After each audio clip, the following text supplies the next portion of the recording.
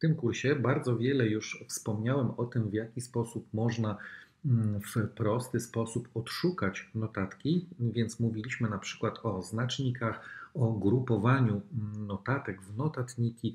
Mm, teraz chciałbym Tobie pokazać, w jaki sposób można korzystać z filtrów oraz wyszukiwarki. Niezależnie czy jesteśmy w widoku jakiegoś poszczególnego notatnika, czy w widoku wszystkie notatki, tutaj mamy taką, taki wizerunek lejka i jest to właśnie sekcja dodaj filtry.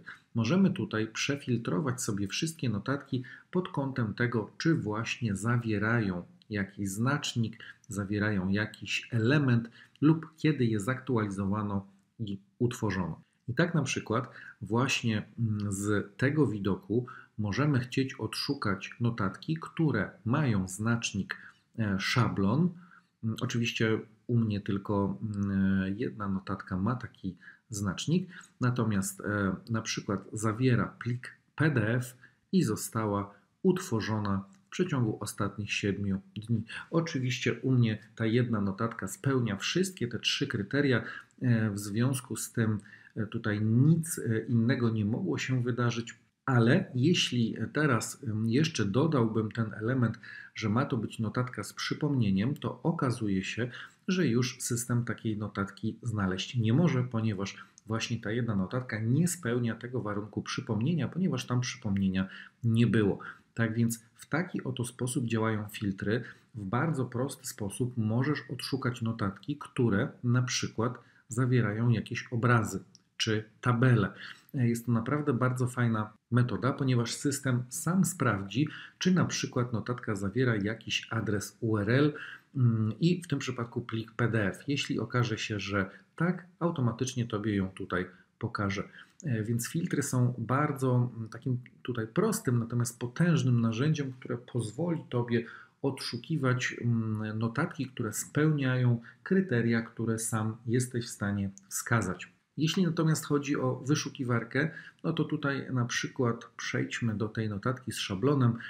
Mamy słowo wagi, w związku z tym możemy przejść sobie do innej notatki i rozpocząć wprowadzanie frazy waga.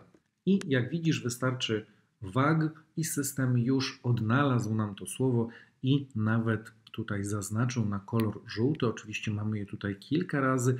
Po kliknięciu oczywiście mamy pewne podpowiedzi, na przykład idź do mój notatnik albo dodaj e, filtr szablon, e, więc też w wyszukiwarce automatycznie mm, będzie przydzielony taki e, tutaj mm, filtr, filtr znacznika, natomiast no, nic więcej nie można powiedzieć ponad to, że ona naprawdę działa perfekcyjnie mm, i działa również w wszelkiej maści plikach, PDF, obrazkach i tak dalej. Jeśli na przykład tutaj mamy PDF i mamy e, przegląd planów cenowych, to w momencie, kiedy zaczniemy wpisywać cenowych, to nie dość, że znajdzie nam tę konkretną notatkę, to jeszcze, jak widzisz, e, zostaniemy przeniesieni w konkretne miejsce, gdzie taka fraza się znalazła, a pamiętajmy, że jest to plik PDF. Tak, jest to plik PDF, który został zaimportowany do systemu Evernote, a mimo wszystko mm, w ciągu ułamka sekundy